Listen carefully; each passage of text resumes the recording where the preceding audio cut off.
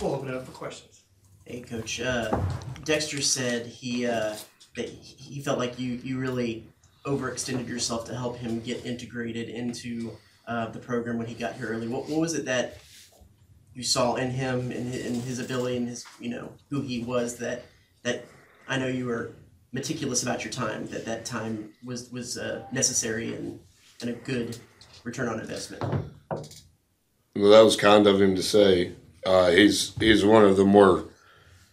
He's probably the most competitive person, yet the kindest person combination I've ever been around. Uh, he's he's the best listener I've ever coached. Nickeil Alexander Walker was really close. Dexter's just older, and so he has experience. Was coached by one of the better coaches in the country. Regardless of your opinion of that coach, he can really coach in between the lines. Dexter wants to be coached. Not all players want to be coached. They say they do, but in the heat of the moment, not everybody wants that. And I actually think that the harder you coach him, the more comfortable he is. And that's a rarity anymore.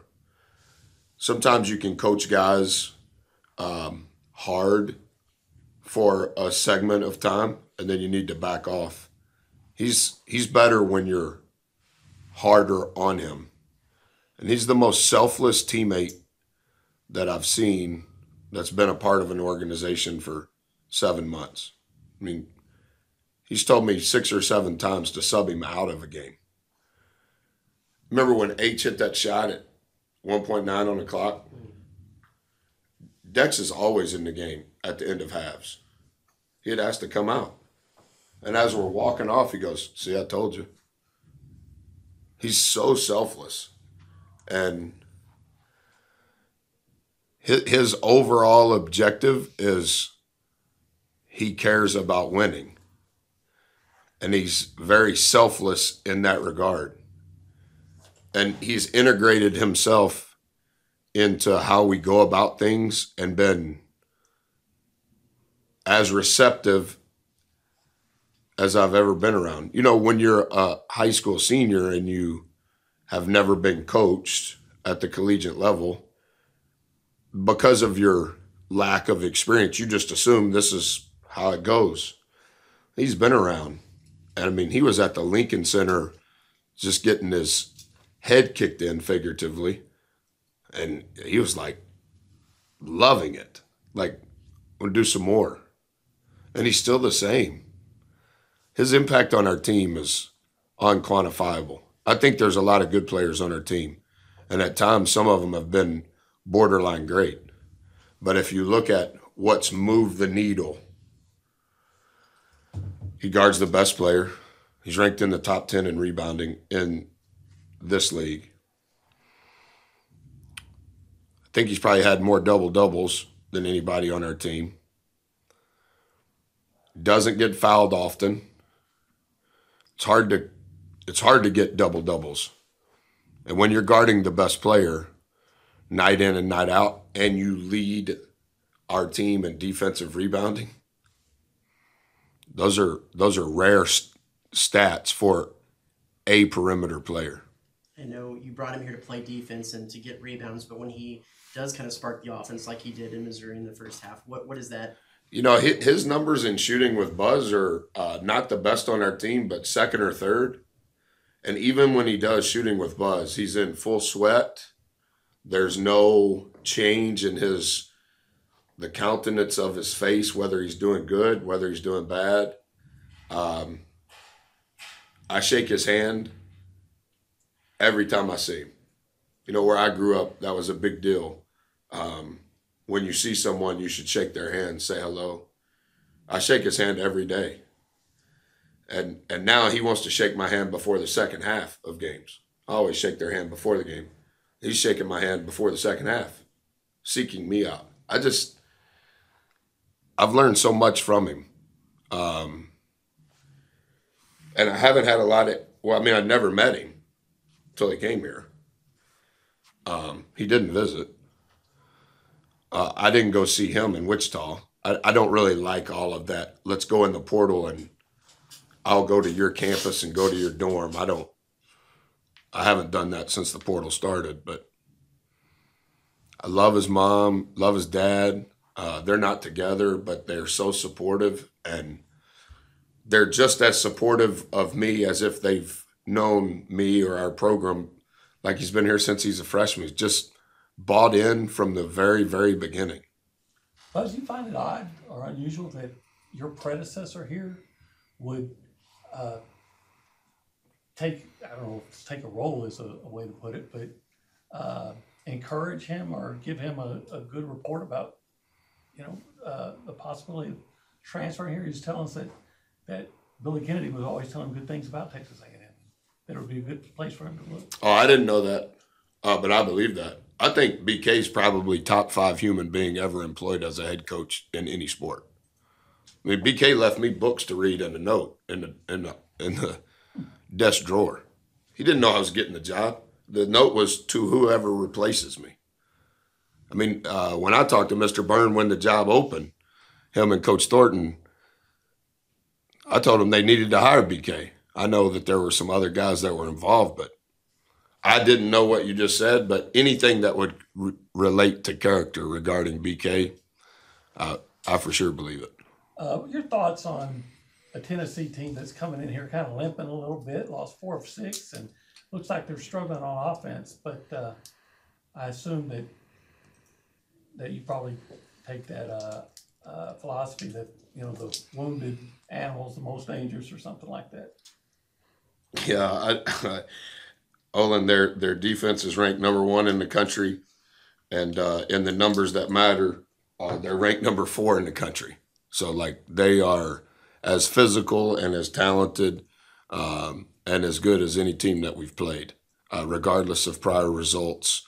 Uh, you're going to lose in this league. You're going to get beat up in this league. Uh, they've been playing without some of their players. I know Coach Barnes won't address that, and that's one of the reasons why he's a Hall of Fame coach. But yeah, I, I would say that uh, what he has done at Tennessee mirrors the consistency of what he did when he was the head coach in Austin. Um, great respect for him. That their style of play, uh, they have multiple players that have played that style, and you can tell the experience and the fluidity that they play with. Uh, there's a lot of experience on that team, and numerically, defensively, and from a rebounding standpoint, they're they're in the upper echelon of all teams in the country, and what they do offensively causes stress uh, because it's very well designed and they have really really good players. What makes them such an elite defensive team? Uh, I would say first of all their size, their length, their athleticism, and another adjective that most teams um, struggle with specific to them is their strength. You know, a lot of times you say, "Oh, they're big." Those guys are big and big. They're big both ways. And I also think that they are very well schooled in they never take themselves out of a play. Um, they stay, they're very rarely in rotation, and that's why teams have really struggled to score, which is why they're number one in the country. You're going to shoot the ball, and they're going to be in front of you. And so their defensive rebounding numbers are just as elite as their offensive rebounding numbers. I think part of their offensive rebounding success is because of the design of their offense. And there's very few unpredictable shots that they shoot. But defensively, you you pretty much shoot the shot that they want you to shoot because they're not going to get in rotation. Um, it's it's I, I'm not looking forward to playing against it, but watching it as a coach, it's fun to watch because they're it's it's how I would want a defense to play, and you know, like uh, just like when you would go to a camp and they would say, you know, on the catch, have your hands up. Every single time they have their hands up. Every single time there's a shot, the shot's contested. They you're you're very rarely going to get a naked look against them and the looks that you do get are n- not going to come out of rotation because they don't get in rotation. Plus, this might be just about the furthest thing from your mind right now, but in terms of recruiting, it's important. The Twelfth Man Foundation last week announced its deal to, you know. Yeah, I read that uh, yesterday. There was an article. Um, somebody uh, sent sent me the article and they printed it out. It, it was a website I never heard of. You got me. Yeah, it's like what all of the administrators read. Was it On3? Yeah, On3. Yeah, On3. So just the importance of that in terms of recruiting and getting player in NIL, in terms of the Twelfth Man Foundation, taking that step. Brent, I would say it's ginormous. Um, and you know, I've stayed away from the topic while also abiding by team rule number one. But the reason I'm thankful that Travis and Brady are in control of it now is, yeah, I, I, have no idea. Like literally, I have no idea, and that's even better. And I think it's better not just for me. I would say it's better for all of the coaches here. But however it got to that point, I would the state of Texas law, the NCAA, if that's still a thing or whatever whatever that is, um, how it can work because of 12th Man's nonprofit, like however all of that worked and all of the lawyers got that solved. Yeah, I think it's huge, very much so. Can you talk about Wade Taylor being named the player of the week and just, I know last week against Arkansas, two points in the first half. I think he finished with sixteen in the second. He just Yeah. seems to be able to deliver at least a spark for you guys when you need it. Well, he has um, a 4.0 GPA last semester. I think that'll continue the rest of his time here. And he has a very high EQ, um, a very high EQ of himself, but a very high EQ of his teammates, his coaches. And I think the combination of his IQ and his EQ for sure has bled into his IQ as a player.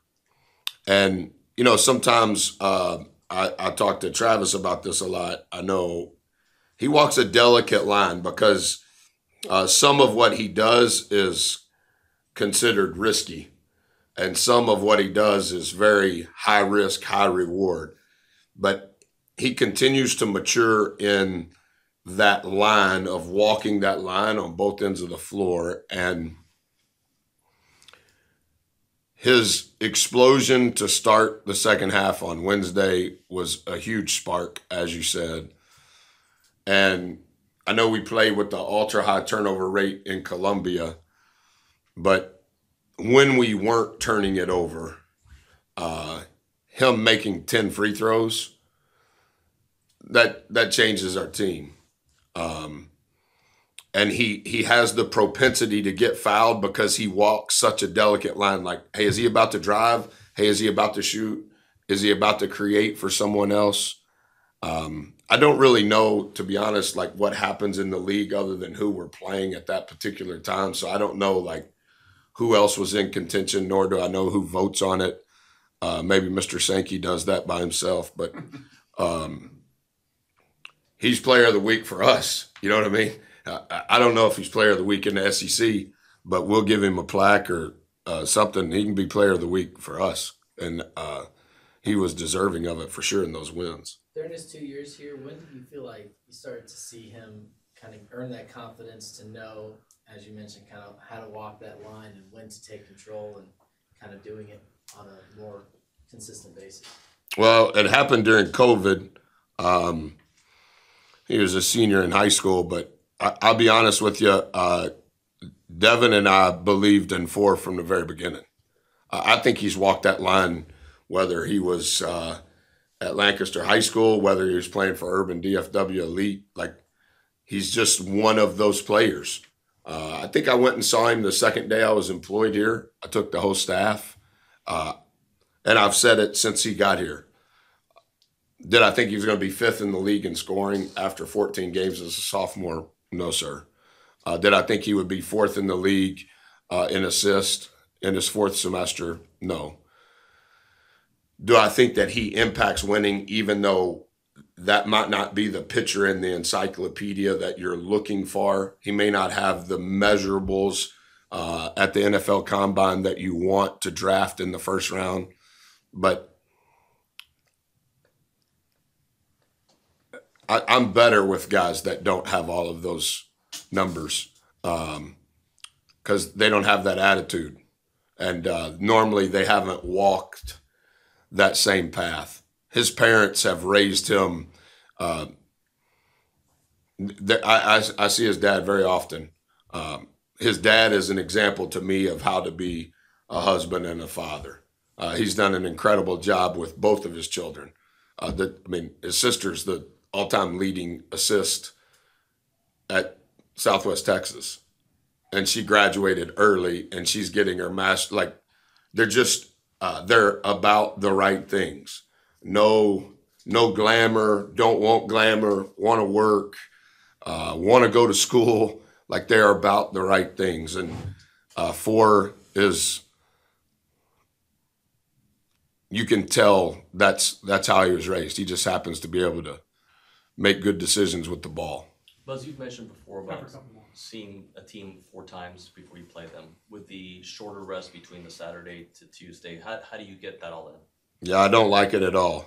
Uh, I feel real rushed right now. I know we're going a little earlier because the women are playing and we actually get to practice and read when we have a home game. But like the the hour that we moved everything up, I don't like it uh, because everything is so regimented. And I'm not saying that's right. I'm not saying that's wrong. I'm not saying I can coach. I'm not saying anything politically charged or subliminally. But the whole program kind of operates off of my calendar. And when my calendar, you know, like uh, 9:45 on Monday, I need to have already done my first set of squats. Like, and hurry up, let's talk, and then I got to get back in there, right? And like, that doesn't mean that that's the way to do it, it, it but but the whole program kind of operates like that, right? Like, it's crazy. Um, I don't sleep the night of a game. And normally coaches don't sleep the night before a game. So my body feels it the day after the day after the game, right? So we play on Saturday. I'm not going to sleep Saturday, but my body can function on Sunday. But Monday is typically when I feel it. And so when we have to play on Tuesday, there's a lot of work that has to happen. So I don't get home till late from last night and I was out of sorts this morning. I don't use an alarm, I don't have a clock. And so I got up and I said, Sweetie, what day is it? I was just kind of, you know, like sometimes when you wake up and you're just like, where am I? You know, like when I wake up in a hotel, I don't really sleep in a hotel very well because I'm not in my routine. And my wife says it's one day before. And I'm like, whew, what a house this is. that my wife is saying our words. It's one day before. Oh, all right. I'll see you later. You know, like just it yes, it's a our this will today is our eighth consecutive day of very regimented work and we don't get an off day until Wednesday. And so this is the second time it happens. I know it's I know Tennessee um, Tennessee actually happens to have been on the same schedule.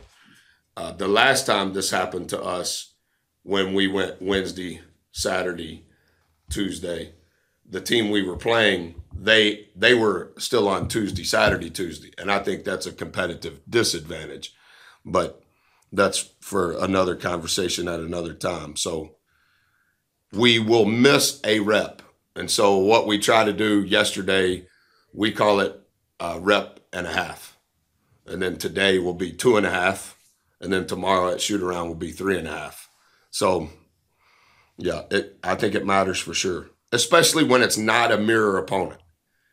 If the transition occurs and it's a mirror opponent, you already have some stored up reps and knowledge because you know Tennessee's the fourth ranked team in the country and so good, and we are on the road on Saturday with a quick turn on Sunday with huge importance to today. Coach, uh, I know you guys probably want to focus on the game at hand, but you, guys allow That's it. yourselves to think about the SC championship game last year, just I watched it. motivation. I watched it. I watched it.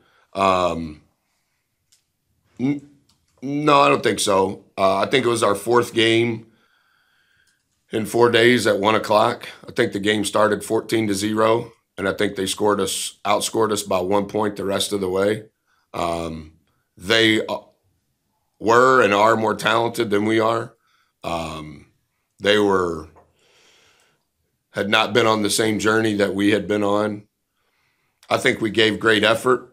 Um, I think there was a little bit of surely we're in the NCAA tournament. Our net is 36. Surely winning three in a row. I think there was some of that. Um, but as far as motivation relative to this year, no, sir. All right, I cover it. Thank you. Thank you.